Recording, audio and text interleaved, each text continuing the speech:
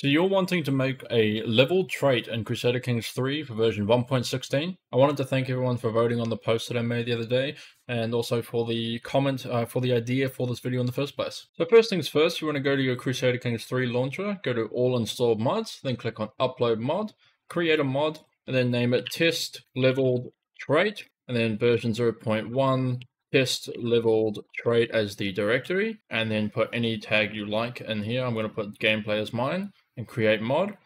And then you're going to want to find it in the folder, so show in folder, and it'll come up with this folder here, which is in Documents, Paradox Interactive, Crusader Kings 3, mod, and test level trait, or whatever you named your mod.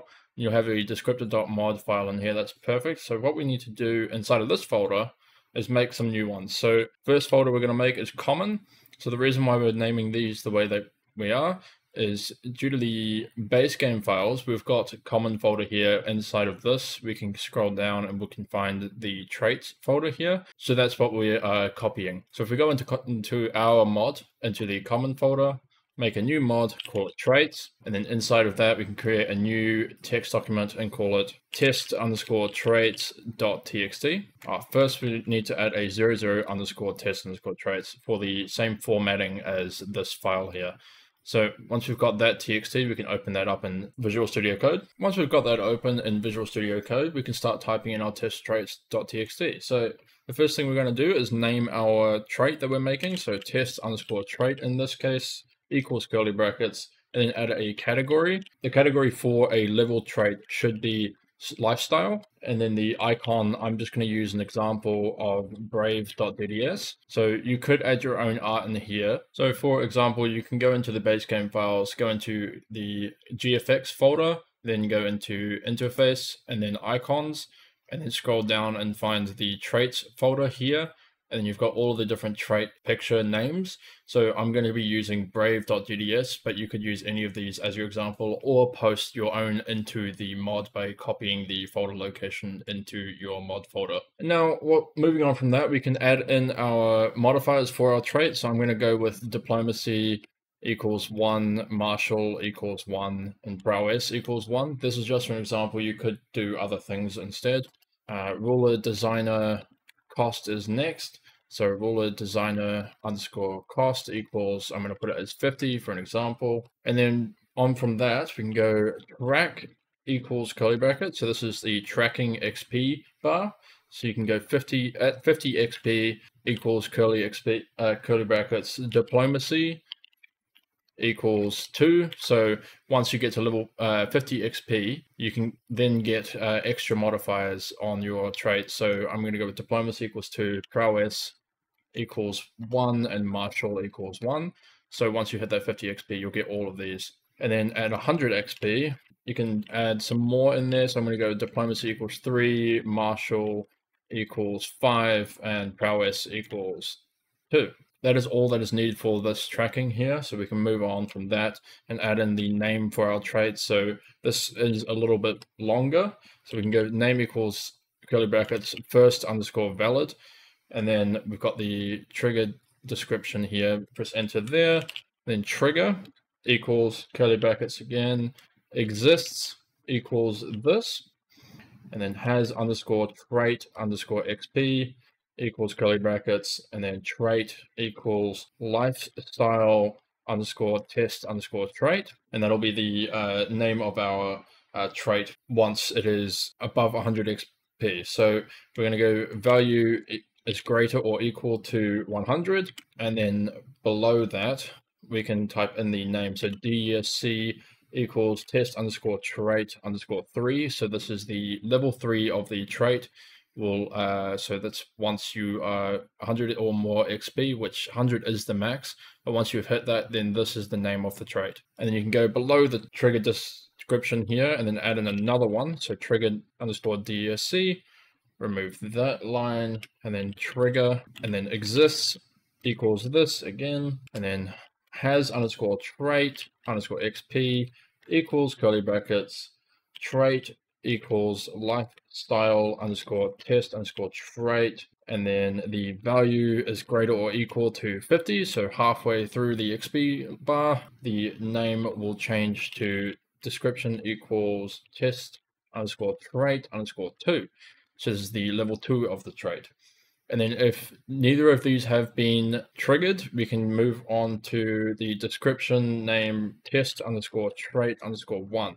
So this is the base name of the trait if these two don't uh, aren't triggered. And then after the name, we move on to the description of the trait. So first underscore valid, and then go to the next line on that, and then trigger, and then not in full caps equals curly brackets exists equals this, and then outside of the not curly brackets, we can go DESC equals test underscore trait underscore one underscore DESC. This is the description of the trait if it's level one. And then outside of that one, we add another triggered description, remove this line, trigger equals curly brackets, has underscore trait underscore XP equals curly brackets, and then trait equals lifestyle underscore test underscore trait, and then the value being greater or equal to 50. So this is the level two of the trait. And then we put the description as test underscore trait underscore two underscore character underscore descriptions. You don't have to have the underscore character here. You could have these values as completely different. It's just for me being able to see this easily. And then outside of that, trigger just description, we can add another one in. So trigger description equals curly brackets, trigger curly brackets has underscore trait underscore XP equals curly brackets, trait equals lifestyle underscore test underscore trait, and then the value being greater or equal to 100. So this is the level three. And then below that, we can, below the trigger, sorry, description equals test underscore trait underscore three underscore character underscore description. And then below the yellow curly brackets again, so outside of this trigger dis, uh, description part here, we can go description equals test underscore trait underscore one underscore character underscore description. So this is if these two aren't triggered, we just create this description here. Then outside of the whole description here, we can add in compatibility. So this is for mainly for the AI, but just for example, we can go callous equals negative underscore compat or compat or compatibility underscore medium. Uh, calm equals underscore negative underscore compat underscore low. Uh, brave being a negative, oh, sorry, positive compat high. So this is all the this is you'll be able to grasp what the different variables could be. So you could have positive compat, low compat, medium, etc., etc. Just for examples, I'm showing what that code looks like. And so now we are done with the test traits. So we can move on to creating a localization folder. So we go create new folder, call it localization. And then inside of that folder, we create another one called English. And then inside of that one, we create a new file called test underscore l underscore English underscore traits dot yml. Uh, and then inside of this localization file, your l underscore English colon, and then test underscore trait underscore one colon zero. And this is the name of the trait. So I'm going to name it test trait and then the test underscore trait underscore one underscore description colon zero. And then quotations test trait level one description. And then under that, you can go test underscore trait underscore one underscore character underscore description colon zero. So this is the test trait character description. And then below that, we're going to do the level two now. So test underscore trait underscore two colon zero quotations test trait level two. And then test underscore trait underscore two underscore character description colon zero quotations test trait level two description. We don't have to do the middle one here on the level two because this is the description of the trait uh, overall, whereas this one is the uh, description of the level two. And then the test underscore trait level three, so underscore three, colon zero, quotations, test trait level three, and then we can go test underscore trait underscore three underscore character description, colon zero, test trait level three, description. And then below that, we need to have a name and a description for the track that we gave. So this is the track here. We need to add a name and a description for the XP bar essentially. So trait underscore track underscore test underscore trait colon zero and then name that test trait tracking. So with the naming of this, we haven't actually declared what this variable is anywhere in our code. But if you add trait underscore track and then the name of your trait, that will work with yours. And then the line below that, we can go trait underscore track underscore test underscore trait underscore description colon zero quotations test trait tracking description. And that is the end of our .yml file. We can then move on. So for this tutorial, I'm going to be using some of the base game files to show you as an example how you could add XP to your trait or through actions in game.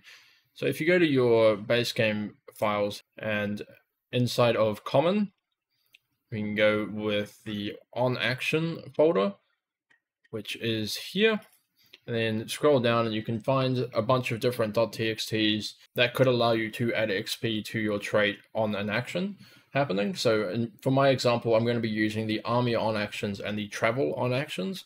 So the army on action is here. So if we go copy with this one, and then go back to our Visual Studio Code and add a new folder underneath common and call it on underscore action. And then inside of that, you can press Control V press paste on that and it comes up with the base game files here. I'm going to be control Fing and finding the XP here. So once the siege has completed, we can add in our code in here. So for this example, we're going to be going below this block of code here and then typing in army underscore commander question mark equals curly brackets. So if this exists, from this code. Uh, if equals curly brackets limit equals curly brackets, and then has trait equals test underscore trait. So that's the name of our trait that we have declared in the traits folder here, so at the top. And then below that we go is commanding army. And then equal that to yes. And then the location dot barony equals scope dot bar oh, colon barony, sorry. So this is a a few if statements. Uh, so if you have, if your character has the test trait, and if you're commanding an army, and if you're in a barony, then you could add the trait XP. So add underscore trait underscore XP equals curly brackets trait equals test underscore trait, and then add the value or how much XP you would like. So value equals curly brackets value equals 10 and another way you could do this as well is add equals curly brackets value equals your martial skill. And then you could divide it or multiply uh, I'm going to do divide by 20 so if you have a martial skill of 20 you'll get one extra XP on this. And this code can be added to almost anywhere in the on actions folder. This code is uh, kind of limited to this file specifically. And then for my example, I'm going to go back to the base game files and then find the travel on actions. So this will be towards the bottom. So travel on actions.txt. So if we copy that and then put that into the same folder, so click on on action and then control V and paste that in and then search for an XP here. So we want to for this example, find this one specifically. So this is on underscore travel underscore plan underscore start. So when your character starts to travel to another county, for example, if you are going on a hunt or a pilgrimage, when your character starts moving along the map, you can give him XP. So if equals curly brackets limit equals curly brackets has underscore trait equals test underscore trait so if your character has the test trait, you can add XP, add trait underscore XP equals curly brackets, trait equals test underscore trait, and then value equals 10. I'm just going to leave it as 10 XP flat whenever you start traveling. And then the other one we want to work on as well is the on underscore travel underscore plan underscore complete. So once your character comes back to your capital or where, wherever he is located normally, you can add in some XP in there. So I'm going to do the same thing. So if equals curly brackets limit equals curly brackets has underscore trait equals test underscore trait and then outside of that add underscore trait underscore xp equals curly brackets trait equals test underscore trait and then value equals 10 and I'm going to do another one as well. So we can go with add equals curly brackets value equals learning and then we can divide that by 4. Alright, so now our trait is all done with the XP gains in there as well, so we can now upload the mod and click play. So the way I like to do that is go into our Crusader Kings launcher again, go to all install mods, click on upload mod, find the mod you are working on, so test level trait, and then Steam Workshop, and then add in a at least 10 character description, and then upload the mod to Steam. Once that is done, we can go to Steam, into Workshop, files you've posted, and then find the mod you're working on, and then subscribe to it. And while that's downloading, I'm just going to go to an empty playset, and then add to current playset. We want the mod with the Steam logo on it, so remove the on file one. With that in our playset, we can now launch the game. Alright, so once your game is launched, you can click New Game, go to any age you like. I'm just going to go to age 67. Make sure you click Create Your Own Ruler. And then for my example, I'm going to go on Ghana, create your own ruler, and then add in your traits that you want. So I want to test the test trait here.